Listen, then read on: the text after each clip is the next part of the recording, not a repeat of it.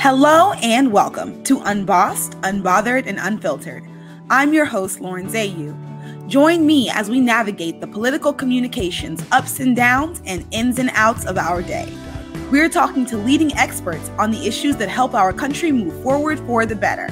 My guests and I promise to give you the history, the real, and the ideal. Let's dive in.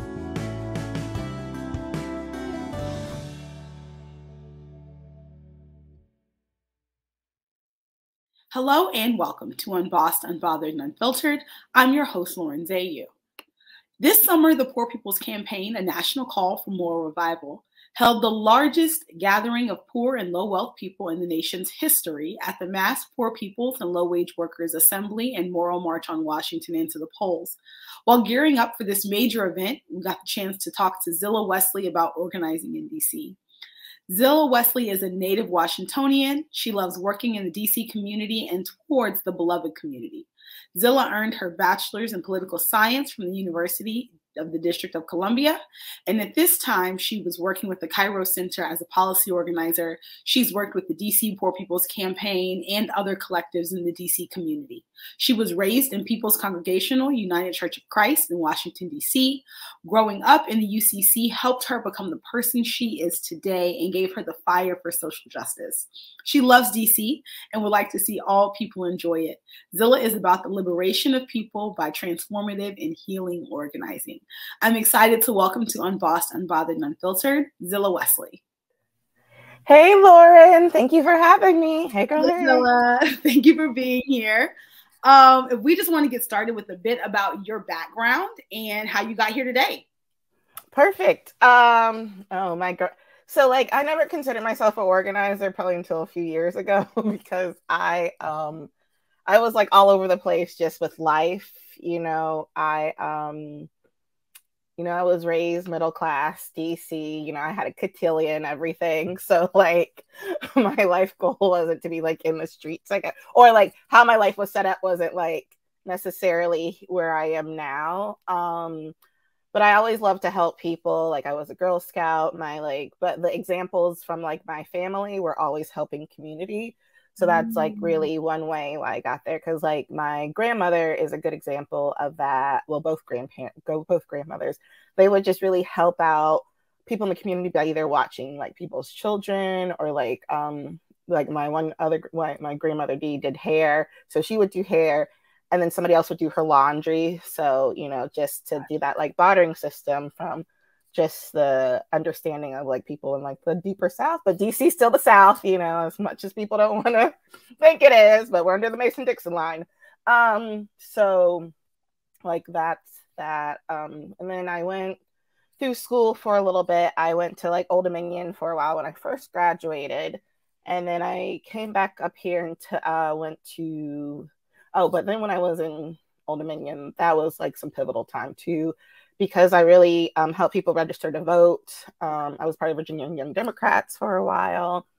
I, um, you know, really learned a lot. But then I came home because it was just time to come home, and it was good timing because my grandmother was transitioning to the next world. So just really helping with that is always um, was very positive for me, and just also got to see like the medical system in its entirety um, about how you know like Medicaid and um, social workers and how people get treated at certain places at certain price points. Um, with that, like that was like a pivotal moment for me where I'm just like, you know, experience life because you never know, right? Um, and so then I just worked odd jobs here and there because at that time I really wanted to be a teacher. So then I worked for an after school enrichment program. Um, and that was also another way where I saw like no matter how hard teachers work, um, the system is flawed. Um, and the aftercare system is equally as flawed sometimes too. And like sometimes, and parents need help. Parents are struggling. They might not say that, but they are because they're trying to do the best of what they can do.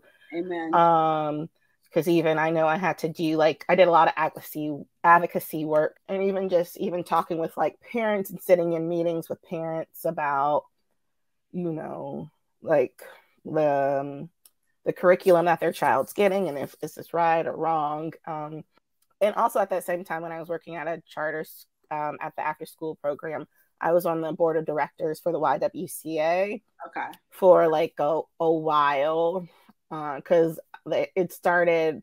They were looking for women under 25, so I I was their token under 25 person. That's and that yeah, yeah, it was like it was like like two of us for a while. One was like it was like me, like young black woman, and another woman. Um, and uh, and so like we really we really worked it out and like we got some great opportunities um, i got to travel with that and represent you the united states um, in thailand for a conference. We i was even on the planning team for a conference in barbados which was really dope. We had women from like all over the caribbean canada and united states and um, uh, parts of mexico and um, and we really did that and really came and worked. Um, let's see but with that, that really gave me tools that I now use a lot in my organizing because you know to to sometimes be an organizer in the way that like I've been trained up is to really be community based to be to help with transformation and not be transactional. So like mm. so all that experience really helped me um, and so in winter 2017, I started volunteering with the Poor People's Campaign, kind of, um, with Erica and Clinton. And we, um, you know, we were rocking it out doing flyers, like they were doing panels. So I was helping support. I was on the DC committee as just a steering committee, just as a member, and moved from there. Because I'm really, because that's also one thing I'm really passionate about is the DC community and really having it equitable for everyone who lives here and like comfortable too. Um, and and then I worked um, as a help with the DMV mobilization in 2020 before the, the pandemic happened. Right. And then moved to Kairos, and now I'm here. Absolutely. Um, and we're definitely going to get into your work at Kairos here a little later. But just to sort of give people an overview, right? Like organizing is kind of a buzzword. It mm-hmm. means a lot of different things, a lot of spaces. But like, what does your day to day look like as an organizer in DC? Huh. Well, it like it. It's not a regular nine to five. Like that's what I just tell people, uh, like off break, um, because like the like people who you know we're trying to trans transform this this city with you know they work late or they work early so mm-hmm. sometimes mm-hmm. i get texts at two in the morning about something like i'm sometimes on calls at like 7 a.m with people you know asked to like you know i've been asked to like can you help with um like a mutual aid or can you do mm-hmm. this for me can you do that for me because like showing up in an intentional way means that you have to show up just not like speaking at my event and i'll come speak at your event that you come to like my smaller like spoken word or like food pantry or can you donate this? Or like do you have a little bit of money that can help me? Or do you can you pick up some groceries for the old the seniors at my building? So like stuff like that. Or can you like make this call? Because we need somebody to listen as you know people are speaking you know? Mm. um so that's it. The day like day to day every day is a different day. I will just safely say that. Um but i love it because i love connecting with people. So and sometimes people just want to be listened to and mm-hmm. have their stories told um and just really um just have people listen to them at the end of the day. So it's like i do a lot of listening. I do a lot of like you know just making like making people feel empowered and feel that like they're not taking crazy pills like this mm. system is jacked up. And like you know in dc to really like afford anywhere here you have to be making over $31 an hour you know? So you know go to poorpeoplescampaign.com and look at dc's fact sheet you know? Um to really like understand some of the breakdowns of that. And like the reality is people are getting $15 an hour. That's cool but that's not enough to really right. still make it. In that in that model, even at fifteen dollars an hour, you would need two full time jobs in order to afford an apartment, and like that's that's just the rent, right? Before right. we get into the cost of groceries and and you know transportation and all the other things. utilities, um, lights, yeah. right? They're required to actually live. Um, mm-hmm. And so I definitely understand that. And as we transition into hold up, right, which is sort of where we get into things that people might not know about your work, I'm curious in particular if there are any um, misconceptions about organizing or something that you think people should know. Um, yeah, I think organizing is not a it's not just like being behind your computer and or in the streets right it's a mix of both mm. um because like with this new future digital organizing is a is a real reality and there's a there's still the digital divide that's happening mm. in this country in this city and a lot of places. Because like yes we have this luxury to like i can be in my room all day on emails but not but and the people that we are you know we're trying to activate are at work. Yeah. You know doing like second shift shit doing first second and third shift you know even you know or at their other job or somewhere else so the reality is we still got to be both places and really meet people where they are um mm. also to me it's not like an ego thing um mm. it's not a a title thing um, because it's really like if you're genuine, people will show up for you. Mm, yeah. um, and that's sometimes a challenge. Um, and it's like not it's not like a lifestyle choice, you know what I'm saying? Because it's like I wear like Birkenstocks and like uh, a something like that doesn't make me an organizer, you know, like mm. what makes you an organ like I was trying to think of something like because it's like a lot of people think it's like because you know how like Pinterest has like those outfits of like yeah, know, it's like one of those things people think like if you look a certain way you're organizer. Like a lot of people are like, you know, and also find balance because a lot of people will live and breathe this and just focus and be so honed on like this that they're missing a lot of stuff. They're meeting, they're missing how they're treating themselves they're missing how they're treating mm. other people. And like you need to integrate this in your life in a healthy way because sometimes people get into organizing because they're hurt or they were hurt on some type of level mm. and they haven't done their healing work or their light work and hurt people hurt people without even sometimes knowing that they're hurting so absolutely um, it, it that's that's very much a, a misconception. I think your your notion of like one organizing is not nine to five because often again the people who the poor people's campaign is organizing in particular are at work and so mm-hmm. like you're working during working hours but also outside of working hours in an effort to organize people um because most people won't let you organize on the clock because why would they do that right. um, and on top of that i think that there is this um and I, it's something I've been thinking about since President Obama, actually, like because he started out as a community organizer. I think people get this notion that there's this like glamorous side to organizing or that it's a stepping stone to getting into politics. And it's not it's not either of those things. Um, organizing is important, it's intentional, and like having long term relationships with communities is not something to ever be taken for granted.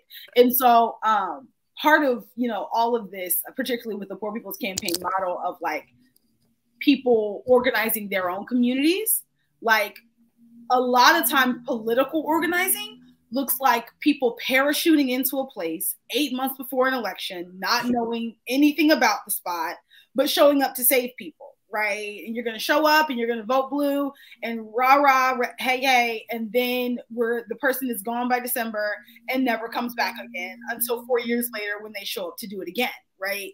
And so it's not sustainable. People don't trust it. People are skeptical because this is someone, this is the relationship where you have shown up, professed to care about me until you got what you needed from me and left. Um, and that's not organizing either. And that's why I think we're not seeing sustained change in a lot of places. One of the many reasons why we're not seeing sustained change in a lot of places because people aren't actively like rooted in communities that they're invested in. You're just sending people out with a clipboard and a gas card um, to organize some state in middle America. Right. I mean, and you said it. And then and then with that, it's the disconnect of even sometimes people not understanding the conditions that you're walking into, right? Absolutely. Um, because like that's why also a part of organizing that people don't really do is study. Like study super mm-hmm. important. Like reading for yourself, like reading to read up on like the conditions of the area you're in, like understanding even also political security. All of that wraps up because like the stuff that we are doing is like serious because like uniting the bottom and like trying to have like and trying to break down some of the systematic racism and like activate people to understand like you know everything that's happening and taking blinders off is like a real thing and really like a um scary thing for some powers that be. Mm-hmm. so it's like having the understanding of like political security and safety and knowing who you are because that's why when like being authentic is the best you can do and people can tell.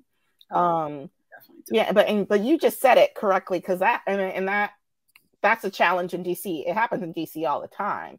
People will parachute in you know stay here and then there's people that are left behind to pick up the pieces. And you know and sometimes the pieces um just don't get picked up because people are numb to it mm-hmm. um and just not sad well i mean it makes me sad about like some situations like about that because it's like you could have really used this as a um a true mobile uh, like building base right. and really getting people to rock out with you in like a genuine way instead of a celebrity type of way or worship type of way. And organizing is bigger than just the rally. Right. Right? People um and so people like you don't get me wrong like movements and and events where people can express themselves. Programs where we speak truth to power are very important and critical. At the same time organizing work organizing people um, in an effort to shift power structures is so much more than that um, and so a lot of the work that the Poor People's Campaign is organizing around, or the issues we're organizing around, you know, like there's the minimum wage, there's the child tax credit, there's like all these different policies that also influence our organizing work. And so I wanted to talk to you about that. You're in particular a policy organizer with the Kairos Center. Um, and I want to talk about how you marry the two of those, policy and organizing. Yeah, perfect. Um, yeah, because I really because like that goes with like research and study. So like mm we're really good at like taking some policy and really breaking it down and really talking to people about it because sometimes policy is a scary thing because in most of my conversations i have brought up paid family leave and how like people should apply for it and mm-hmm. here's how to apply for it you know i even send people the website um even how and use examples that like people like tag words that people hear like you know that ch- that that child oh, if I could talk, the child tax credit was really helpful yes. for a lot of people. And they were like, yeah, it was. And then like I break that down to them on like how, you know, there's enough money for us to like keep it all the time, you know? And they're like, true. And then like, how do you go about it? I'm just like, you know, here's the Poor People's Campaign website. This is some of the stuff we're talking about.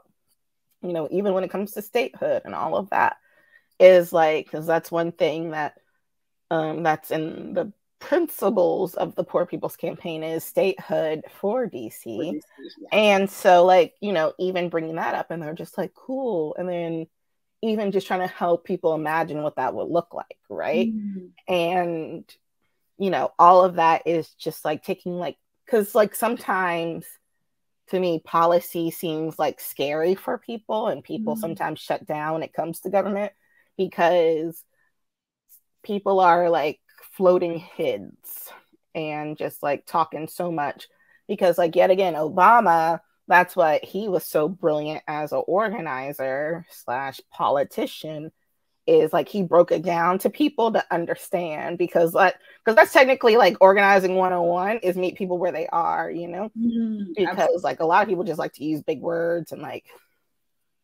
all of that. But the reality is like not everyone is gonna like wanna use the word with like wherewithal and like make sure you're using amongst or among you the right way, you know? And it's just like sometimes you just want to sit down and kick it with somebody and be like, you know what?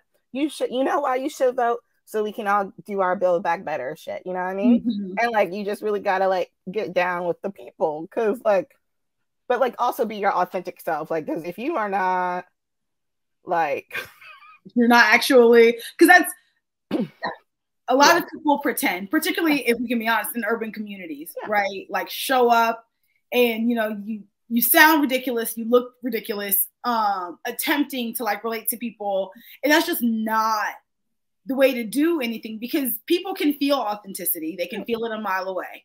And so even if like I don't agree with you all the way, but I know you're being authentic and honest with me, that goes further with me than someone who's saying everything, you know, that I like, but I don't know if I can believe them because I don't know if you're being genuine. Oh yeah, because just like the people who, yeah, because some of the New York who just be like, like just be using hand stuff because they're in like urban areas, and I'm like, no. Stop it, Susan. Okay, ah. please like you're you're doing the most, but yet the least, and you're turning people off. You know, Absolutely. I mean, because you can see when people start shutting down, mm-hmm. and then like I get like quiet phone calls and be like, "What the fuck was that?" Yeah. you're just like, you know, you're, like, like, I don't know either. I can be honest, right? I don't know either. Yeah, it, it gets wild here, but yeah, but it's also, but it's a way where and I don't know who says this, it's either like uh Reverend Theoharis or Bishop Barber, but it's like we need to make many Martins, right? Mm-hmm. And that's like a good organizer at the end of the day should help people feel empowered mm-hmm. and honor their story and honor them and trust them enough that like if I give you this paperwork, I know that you can organize your house or your uh, church or your whatever. Mm-hmm. The the thing is that I need to set you up for success. Yes. Setting people up for success is absolutely pivotal. Um, and actually, as we transition into I ain't sorry, right? Like, what are some of the mantras that you've developed as a person, either personally or professionally, that help you do the work that you do? Um, that this is not about me. This is for mm. the greater good. I can safely say I have changed that a little bit, mm-hmm. as in it's about all of us, including yeah. myself. Um, mm-hmm. Because if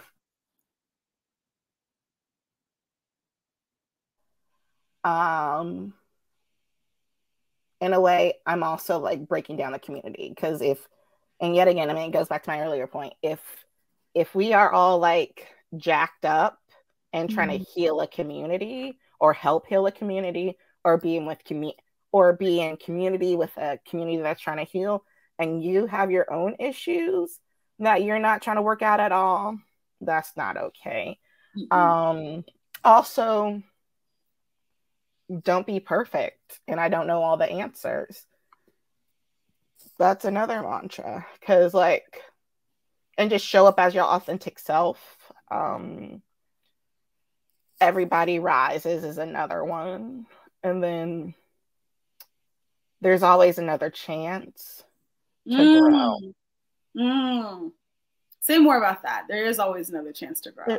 Yeah, because like some people come with the mindset that it needs to be perfect or needs to be a certain way. The reality is like it's different chance like you can grow whatever way you need to grow you know because it's like trees. Some dr- trees grow in the shade some trees really need the sun. Mm-hmm. however they're still growing. And so like if i you know miscommunicate something you know go back and apologize and that's okay instead of just like not doing that. Yeah. um you know or if i hurt somebody's feelings or came in a little bit too raw raw talk to them about it so I don't leave any wounds, you know, and just mm-hmm. say like throw somebody off with that.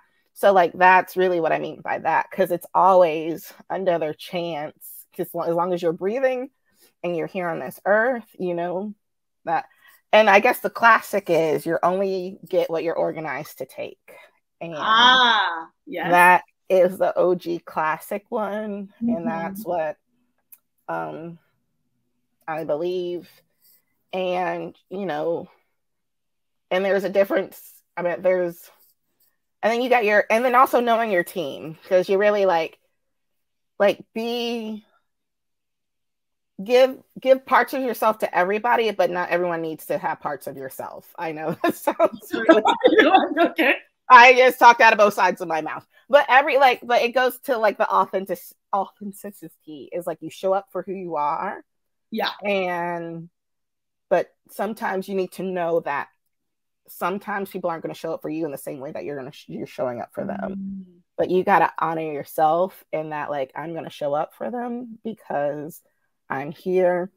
This is in me. This is how my calling in life and my pathway. And I feel like the universe put me here for that. So those are really some of the mantras I do because it's like, and really boundaries. And I mean that for yourself. Yeah. Because it's easy to like get caught up in this work. Because the other day I was out and I was like, oh shit, I forgot to eat. And yeah. like, oh, that's very problematic. Um, and it's just like you can't do that because you know your body gets sore, your body gets tired from all this marching. I mean, you, shit, you know, we were in the trenches together. So, like... and it's it's so interesting. A couple of things. One, I want to talk about like the the growth that I feel like. So you were talking about like you know, there's always room to grow, mm-hmm.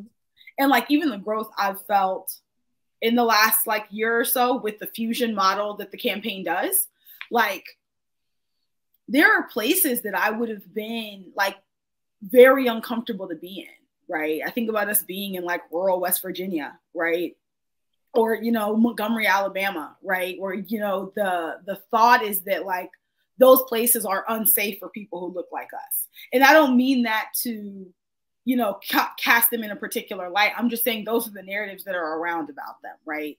And so it means something for the campaign to organize like in the streets of Harlem, right? In Raleigh, North Carolina, but also in the hills of West Virginia, also in, you know, the rural South, because these problems are are all of are are continuous and cycled together. And because there are so many areas where they try to divide people, like I think sometimes we don't see those as issues, or we, we don't see the continuity in in what we're all dealing with. Is is something I thought about as you were talking. So like that's growth for the organizers. That's growth for you know leadership. Um, and, and particularly on growing leadership, right? You see the leadership looks different in different places, right? So sometimes we're organizing with other organizers. Sometimes it's organizing clergy Sometimes it's organizing, you know, shift leaders. Sometimes, you know, it's just community leaders who have been there for years and people revere. Like, and so understanding that leadership looks different in different parts of the country, uh, but we have to keep all of that um, in mind when you're looking for people who folks trust.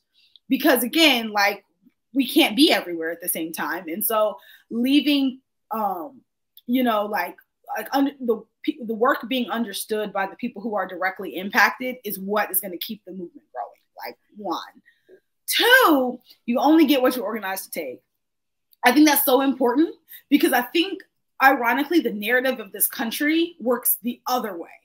So I see on Twitter a lot, people are always like, whose idea was it for us to work five days and only be off two? Like, who came up with that? And I'm like, well, the issue here is that you don't know labor history because the issue used to be that you worked seven days a week.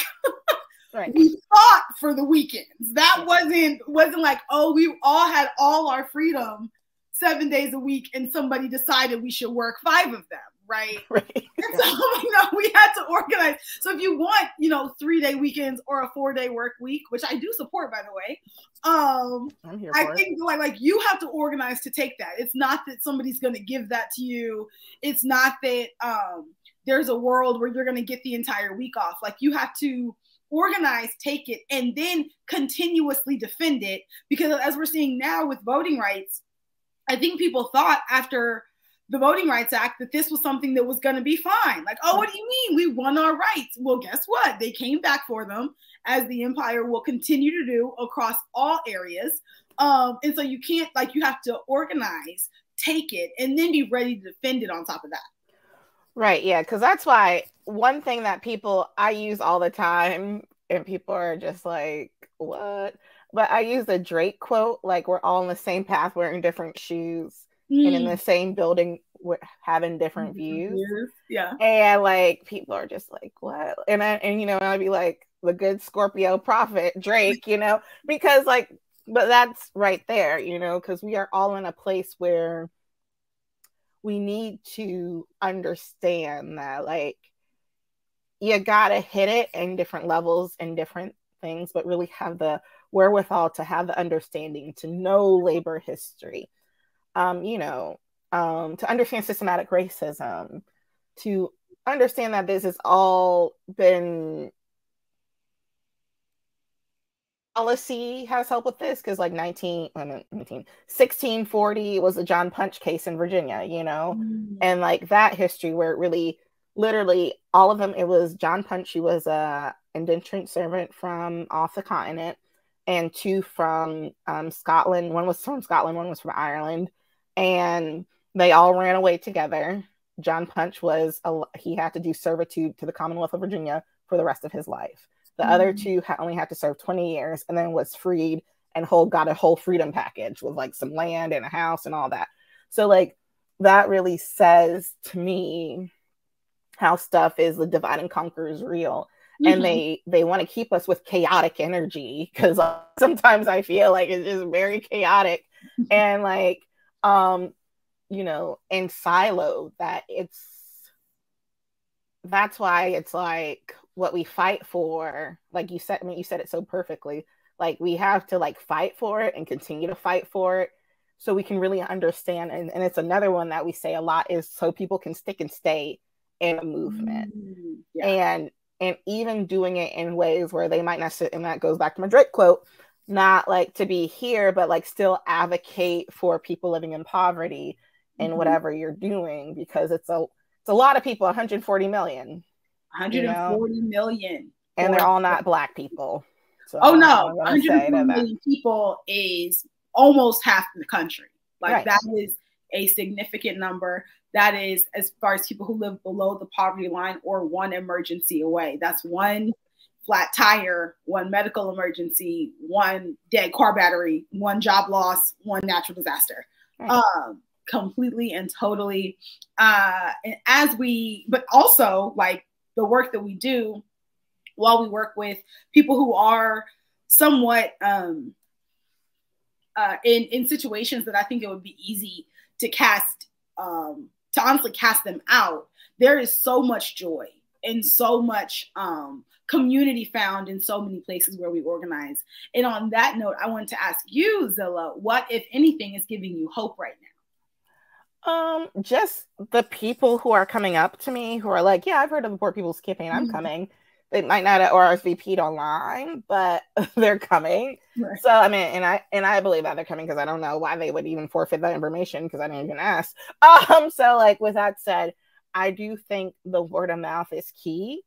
And like people are bringing their friends who are bringing their friends. And, you know, even though I was on a call the other day and they're like, we're hosting, like a couple was like, we're mm-hmm. hosting some people, you know? So um it's real. That gives me hope and just the idea that like for myself living into the future that we want to see you know mm. and like and that starts with within because that's you know probably organizing 102 is self-awareness you know and just of self and your surroundings and the conditions because like people are hungry for mm. something and you can tell because even like i probably i don't know if i should mention this but like if you even hear the people like during the insurrection right like the people who weren't like trying to shoot up the place but like they were really saying some of the stuff that we're saying, but they were activated by the wrong people, you know? And so yeah. The thing is that we just need to get information out there in a tangible, edible way. And like, and to your point, like that's why I like that we go into West Virginia. Mm-hmm. And because even one moment where I was like, wow, is like we we were in the lobby of like that hotel. Um, and like somebody came and gave one of us $20 and they were like, Can you just give this to mm-hmm. the campaign? I love the work y'all do, you know? Mm-hmm. And even just the people just even reading our shirts and being curious about yeah. it. And then even seeing us in our times of joy, because a lot of people fear joy.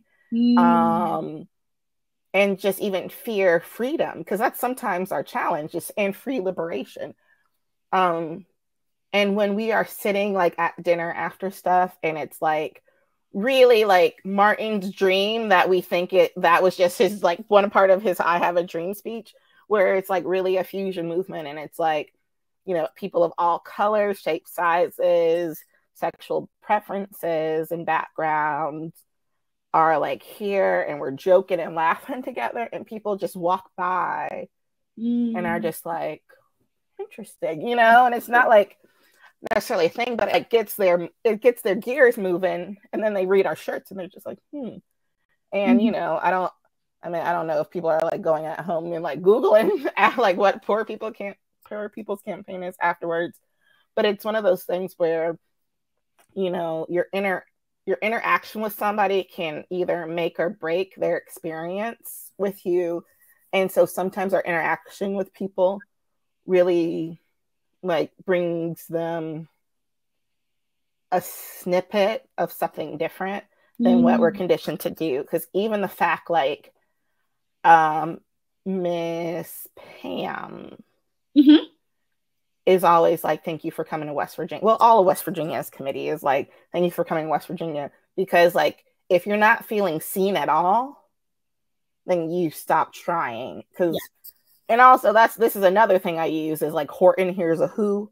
Because mm-hmm. that little like flower at the end when it's about to get dipped in oil and all the who people who are living on the flower like we're here, we're here, you know? Yeah. Like that's one of the things that we are because it's a lot of people who you know, keep trying things and switching it up and all of that, and yet aren't being heard, but having like one or two people hear you mm-hmm. and even a whole campaign coming to support you is very powerful and changing for people. Mm-hmm. And that's what brings me hope. That is fantastic. I, I completely agree. Um, our last segment for the show is called Drunken Love, uh, where we talk about, you know, uh, I give you a couple minutes uninterrupted for any type of closing thoughts or things that you wish you had gotten a chance to talk about earlier. Um, and for this one, we are talking about the Mass Poor Peoples and Low Wage Workers Assembly and Moral March on Washington and to the polls on June 18th, 2022. Take it away.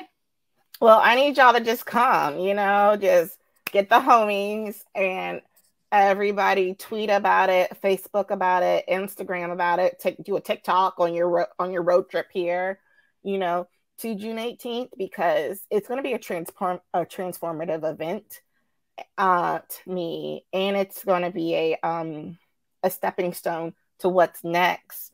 And not just for like the poor people's campaign but for this country because we're at a moral crossroads that needs to be really honored right now because we are at a point where no matter who's in office, the people aren't being heard, you know? Mm, yeah. Um, because Build Back Better could have helped a lot of people. And that was just a snippet of what we could get, right? Um, because right now, a lot of us are still fighting for scraps. And so many people have so much. Like, fucking yeah. like he just Elon Musk bought Twitter for like 44 billion, right? 44 billion dollars.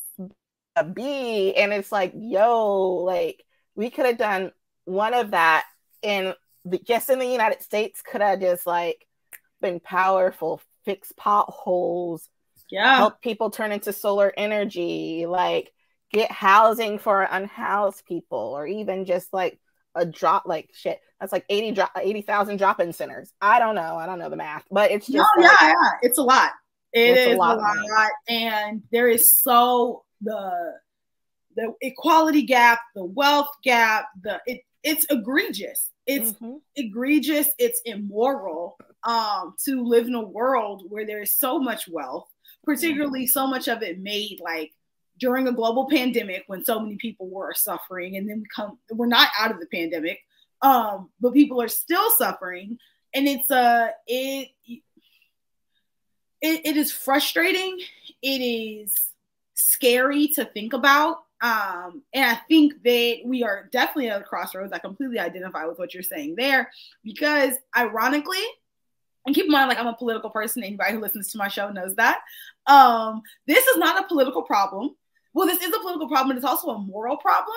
Mm-hmm. In that, like, I, while capitalism definitely has its issues, the issue, the sole issue here is, is greed and lack of compassion and lack of interest in your fellow man and it, it fellow person and it's not okay for lack of a better word.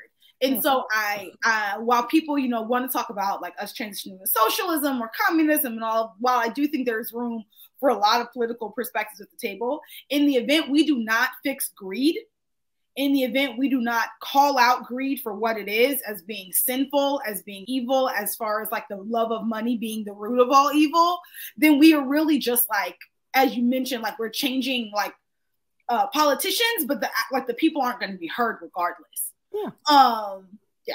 No, because I mean, even because what you just said sparked my sparked my mind. Because even like how people are like, you know, how some of these churches have fallen off, right? Because it's mm, like you want for one hand you're saying money's evil and mm. then you're turning around the next second some you know some of these churches you gotta like give your tax um stub to oh, see yeah. to see who like how much you're really making but the reality is like and that's also what i appreciate about working for Kairos center and doing work with the poor people's campaign is really the liberation of you know the story of jesus and like his disciples and um the other religions as well um really and even people who just like are like wiccans and are mm-hmm. into nature like just hearing the liberation of all of that really yeah. shows that like we are in a place where soon we'll all we either need to start swimming together and just keep swimming or yeah. we're about to sink together and that's my that's my thing and that's why to me june 18th is super important to come because you know there is also another election you know there's always going to be an election coming up presidential election will be soon enough and no matter who's in office the people need to say you know like the preamble of the constitution like i have right here is like we the people you know what i'm saying? Because uh the white men who made it, you know, owned slaves and did whatever they had to do. But however, you lost your receipt now at this point. So not lost your receipt.